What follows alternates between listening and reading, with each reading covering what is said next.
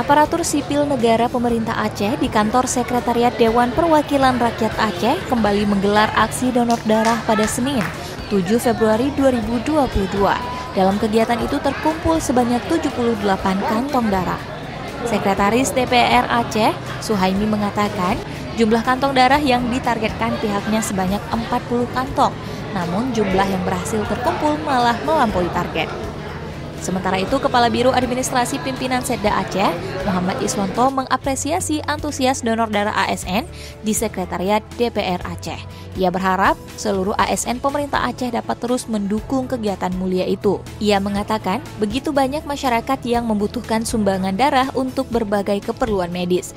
Lebih lanjut, Kepala Biro Administrasi Pimpinan itu merasa bersyukur donor darah yang digagas Gubernur Aceh sejak Mei 2020 terus antusias diikuti oleh ASN pemerintah Aceh sesuai dengan jadwal jatah mendonor.